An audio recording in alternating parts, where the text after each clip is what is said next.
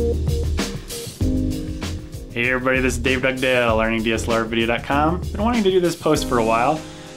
What I'm going to do is count down the top 17 people I feel you should follow if you're trying to learn how to use your DSLR camera for video. These people are usually educational, they share what they're learning, um, they're inspiring.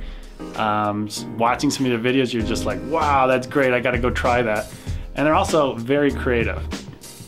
And usually what you're gonna find out is people at the top of the list have all three of those things. And some of the people at the bottom of the list maybe just have one or two of these items. So the way I put the list together is it's kind of difficult. What I wanted to do is represent them in such a way where when I get a notification or I see their they've created a new video or blog post, it's the excitement level I have when I go to their blog post and I'm like, oh, I know this is gonna be good. So that's kind of the order. All right, coming in at number 17 is Emm over at Cheesy Cam. Emm's site is really cool because it saved me a lot of money over the years.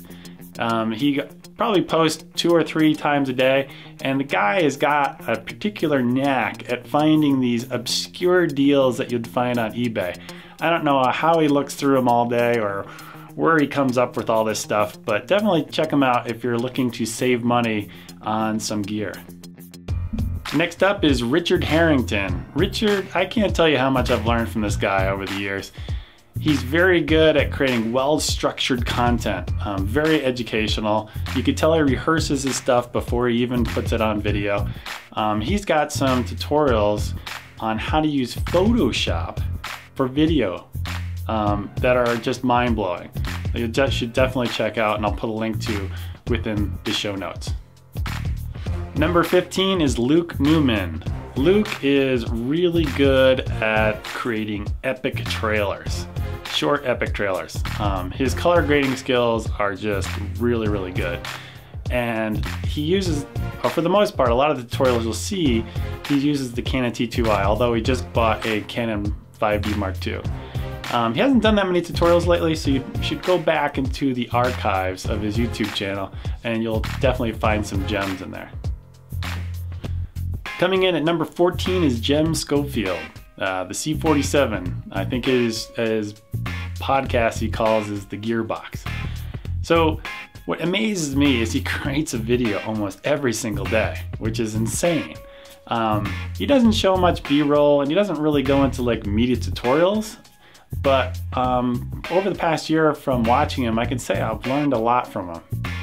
Coming in at number 13 is Ryan Connolly. Ryan does an amazing job at creating a skit for every video he does. And these skits are usually very entertaining. And then after the skit, he usually explains how he did it. Um, on the educational side, he does a lot of stuff with After Effects and he does it quite quickly. So it's not like a real in-depth tutorial. He kind of glances over it very quickly, but you can still get a lot out of it because it's very inspirational and it's very creative and you should definitely follow him. Coming in number 12 is Tom Antos, if I'm pronouncing that correctly, from Canada. Uh, this guy has got amazing green screen and compositing skills. Um, he's not been doing so many tutorials lately on his channels. He's got two YouTube channels, I believe.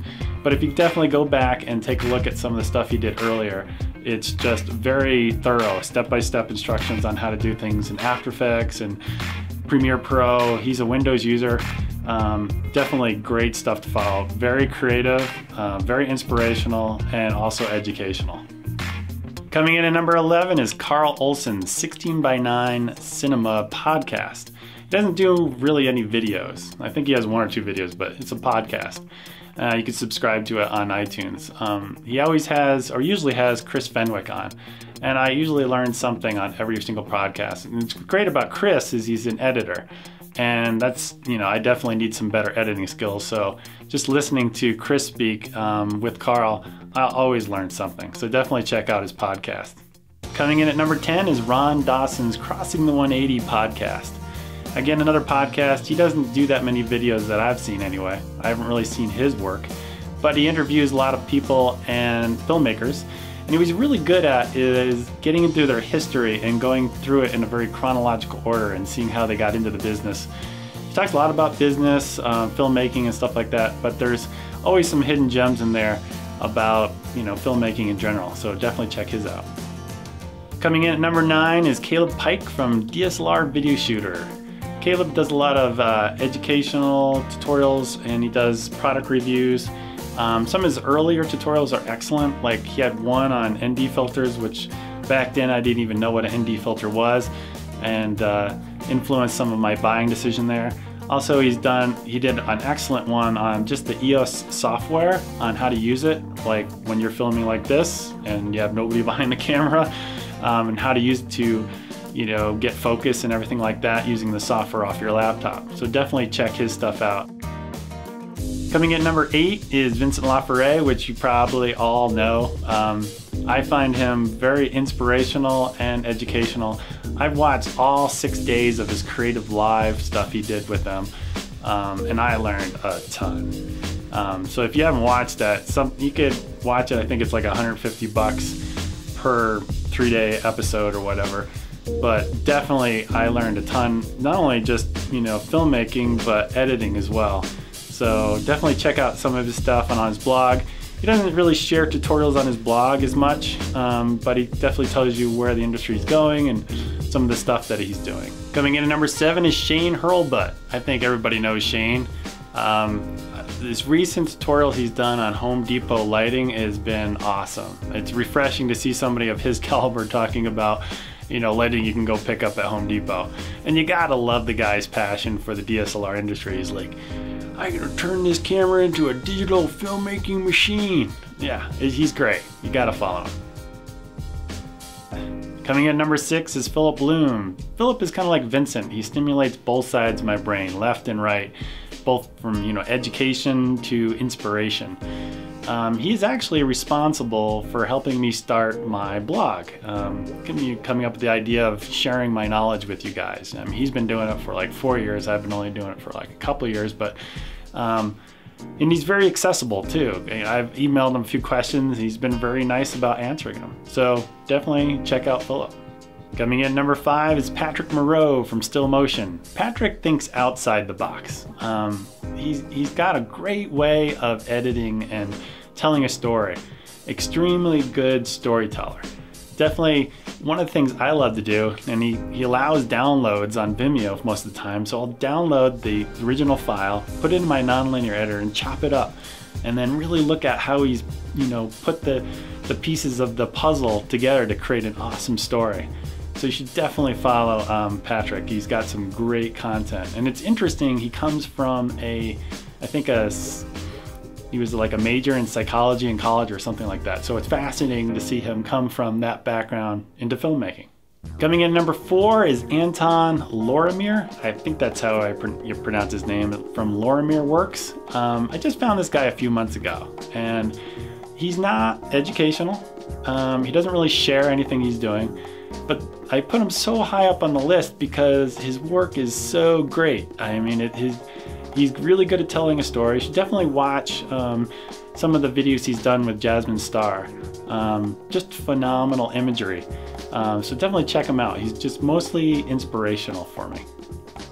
Coming in number three is Freddie Wong. Freddie and Brandon are awesome. And the reason I put them at number three is not because they're um, educational. They usually do a behind the scenes video for every video they do, and they're definitely inspirational.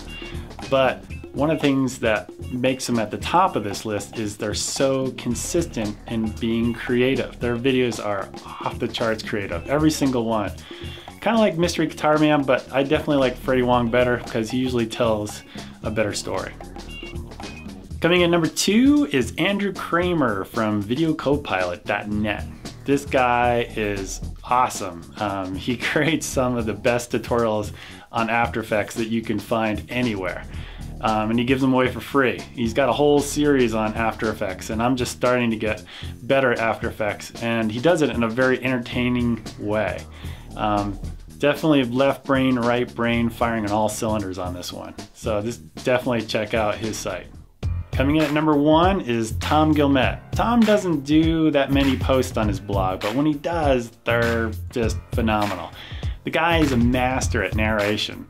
He did a video I just loved on Timefest where they went out and you know he did a behind the scenes documentary of all these guys shooting all these different stars and astrophotography um, and it was 22 minutes long and he held my attention the whole way through for 20 minutes which is just amazing so you definitely got to check out Tom's work all right that's pretty much it and I kind of did this video kind of on a selfish front because while I think I'm just scratching the surface of finding these, you know, hidden gems of people that are very educational, inspirational, and all that good stuff, um, I want to hear from you guys.